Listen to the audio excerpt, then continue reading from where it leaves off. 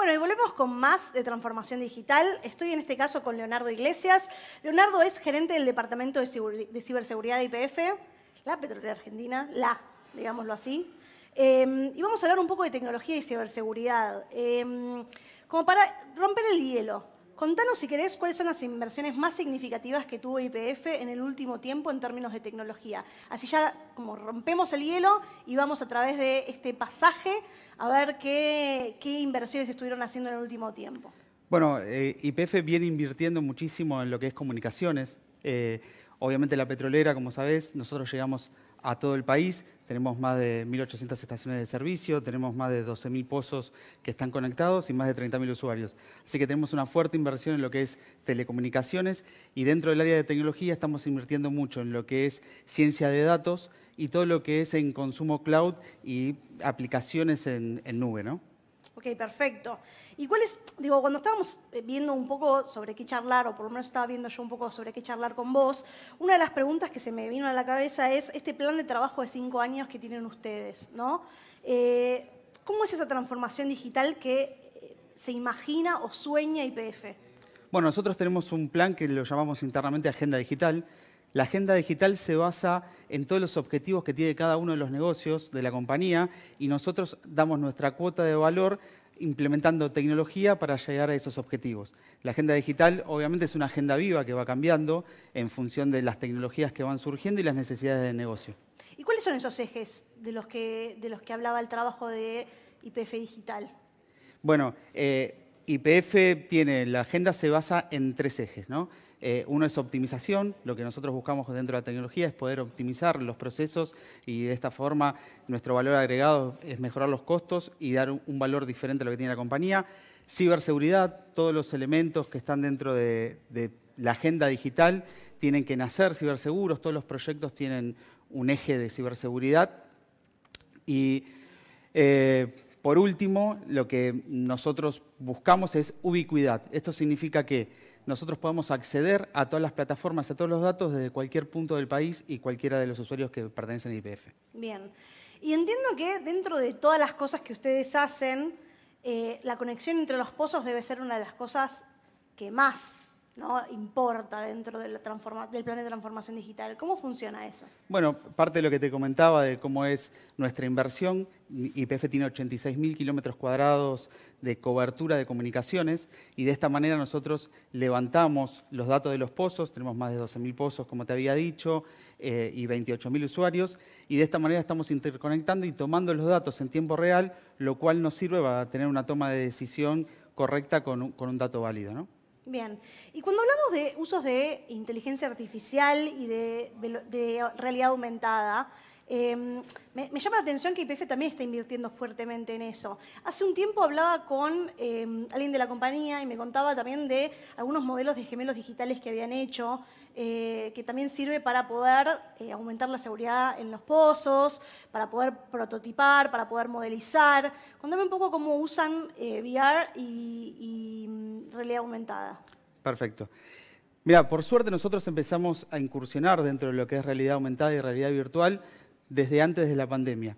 Esto nos posibilitó en el momento de la pandemia, cuando teníamos que hacer reparaciones de equipos, donde generalmente vienen ingenieros de otras partes del país, de otra parte del mundo, perdón, eh, poder tener conexión con ellos en tiempo real y solucionar los problemas.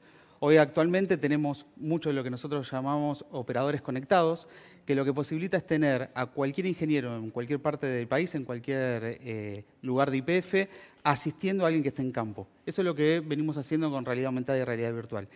En inteligencia artificial hoy tenemos un, área que se llama el COE de Data Analytics, ¿no? donde ahí nosotros estamos generando algoritmos y en base a esos algoritmos buscamos eficientizar los procesos de negocio. ¿sí? Entonces ahí aplicamos inteligencia artificial y buscamos ciertos procesos donde podemos optimizarlos con algún algoritmo. ¿Y me puedes dar algún ejemplo de cómo lo están usando? Eh, sí, bueno, el, realidad aumentada y realidad virtual, te dije recién, en inteligencia artificial hoy lo que estamos haciendo, por ejemplo, para la perforación de pozos, es buscar cuál es eh, la forma óptima de utilizar la perforación para mejorar los costos eh, cuando hacemos perforación. ¿no? Eso se hace a través de un algoritmo y tomando los datos que tenemos en campo, vamos tomando decisiones desde una sala de control que se encuentra alejada del campo. Se me ocurre, digo, vos sos una persona que eh, entiende mucho del tema de ciberseguridad. Claramente sos el jefe del departamento, sos, un capo en el tema. Contame un poco cómo, cómo son las verdaderas amenazas que tiene hoy una petrolera como IPF. Mira, nosotros estamos inmersos en un mundo que obviamente las amenazas de ciberseguridad a través de la pandemia eh, se multiplicaron. ¿sí?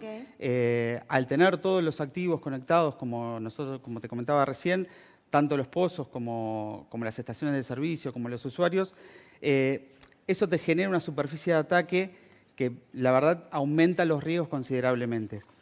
Nosotros no solo eh, estamos expuestos a los hackers, donde puede estar expuesto cualquier eh, otra empresa, sino que al ser una infraestructura crítica la que posee IPF, nosotros tenemos que tener otro nivel de ciberseguridad. ¿sí? la exposición es desde ataques que vienen fuera del país como ataques que pueden venir dentro del país. Eh, es muy alta ¿no? la exposición que hoy tenemos y nosotros al trabajar dentro de lo que es eh, tecnología operacional y tecnología de la información, tenemos que tener más herramientas que cualquier empresa normal. Bien. ¿Y en términos de inversiones en, ciberseguridad, nos puedes contar algo? Sí, eh, eh, nosotros estamos invirtiendo muchísimo en lo que es inteligencia artificial eh, dentro de ciberseguridad, lo cual nos va a permitir eh, hacer detectar de forma rápida cualquier, cualquier cosa que sea anómala a lo que es algo habitual. ¿no? Eso nos permite automáticamente tomar alguna acción y prevenir cualquier ataque que esté, que esté haciendo. Eso es algo de vanguardia y estamos invirtiendo mucho, mucho dinero en eso.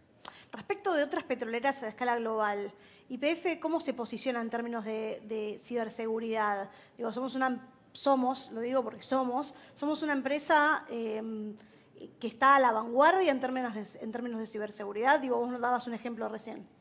Eh, mira, YPF no solo está a la vanguardia de lo que es ciberseguridad, sino a nivel de tecnología. Eh, no tenemos nada que envidiarle a cualquier empresa world class eh, petrolera o de otra industria.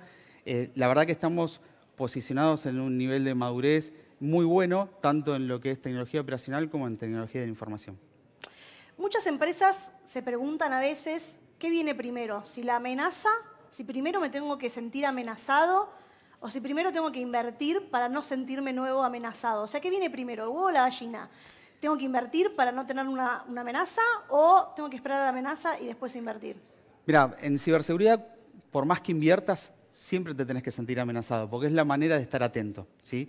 Eh, no existe inversión que te produzca que vos estés 100% seguro. ¿sí? Siempre hay métodos nuevos y siempre podés tener algún eh, agujero de seguridad, como lo llamamos nosotros, que, tenga alguna exposición por algo que, se configuró mal o algo nuevo que se haya creado. ¿sí? Entonces, eh, lo que siempre te tenés que sentir es amenazado y trabajar en una política que es muy conocida, es un framework de trabajo de cero atrás, y no confiar en nadie, ¿no? O sea, lo que tenés que hacer es todo el tiempo, no importa si eh, te está requiriendo algo interno o externo, pensar que puede ser un atacante, autenticar, autorizar, encriptar y tomar acciones como si estuvieses en amenaza, ¿no? Bien. Y en términos de computación cuántica, me llamó mucho la atención que hay inversiones también puestas en proyectos de computación cuántica. Contanos un poco qué, están haciendo. Mira, lo que estamos haciendo es eh, prepararnos para entender cómo va a ser la programación cuántica. ¿no?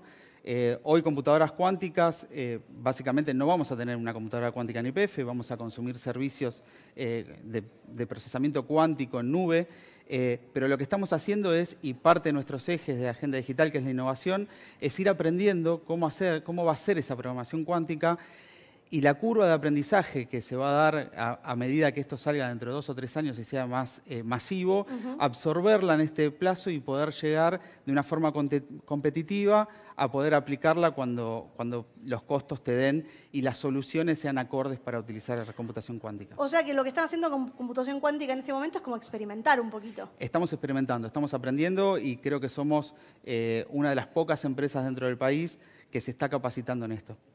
Contame cómo fue el, journey o el, camino para que 70% de sus activos estén en la nube. Bueno, nosotros empezamos un proyecto muy agresivo hace tres años, donde todas las aplicaciones que teníamos on-premise dentro de, la compañía las llevamos a la nube. Actualmente tenemos el 70% de las aplicaciones en nube, no es en una sola nube, IPF eh, trabaja multicloud. Esto es lo que nos permite ser eh, muy ágiles, ¿no? O sea, ante requerimiento de, un servicio diferente o necesidades de ampliar el servicio, nosotros al tener las aplicaciones en nube nos podemos eh, actualizar y acomodar a las necesidades del negocio. Pregunta, ¿temen un poco o temieron en su momento la migración hacia la nube, especialmente cuando estamos hablando de activos tan sensibles? Sí, sobre todo porque fuimos pioneros a nivel país en lo que es migración a nube y, fue nuestras aplicaciones, como vos decías, son core para la compañía y estábamos aprendiendo y experimentando a medida que íbamos haciendo la migración. Con lo cual, eh, la verdad, por suerte, IPF tiene una gran capacidad de profesionales eh, dentro de la compañía, así que, eh, y en función con la ayuda de, de los partners que nos acompañaron, pudimos hacer este proceso, pero sí, obviamente siempre existe un, temor a que las cosas no salgan como uno las planifica, ¿no? Sí, claro, eso es, uno de los grandes temores, especialmente cuando hacemos migración a la nube, ¿no? Que es el temor de varios. Y, sobre todo hace tres años, ¿no? Porque hoy ya es algo muy común, pero hace tres años nosotros estábamos experimentando en Argentina, en realidad un poquito más, cuatro años, eh, y para armar todo ese entorno de nube mm, teníamos que capacitarnos mientras estábamos haciendo la migración. Impecable. Te hago una última pregunta. Sí. ¿Qué se viene en términos de, no solamente de inversiones, sino también en términos de tendencias eh, en tecnología que pueda adoptar IPF? Como te dije hace un ratito, estamos trabajando muchísimo en lo que es eh, Data Analytics y lo que es algoritmos. Eso entre inteligencia artificial y todo lo que es eh, ciencia de datos es lo que tenemos que ir trabajando y va a ser nuestro norte en los próximos años. Te agradezco muchísimo, Leonardo. Estuvimos hablando con Leonardo Iglesias, gerente del Departamento de Ciberseguridad de IPF, y la verdad que eh, fue extraordinario. Muchas gracias por estar. No, muchas gracias por invitarme. Gracias. Y para los que están en casa, les comentamos que se terminó el evento de transformación digital, pero tenemos muchísimo más la semana que viene en el evento relacionado con mujeres líderes. Eh, espero que nos acompañen también en ese momento. Muchas gracias.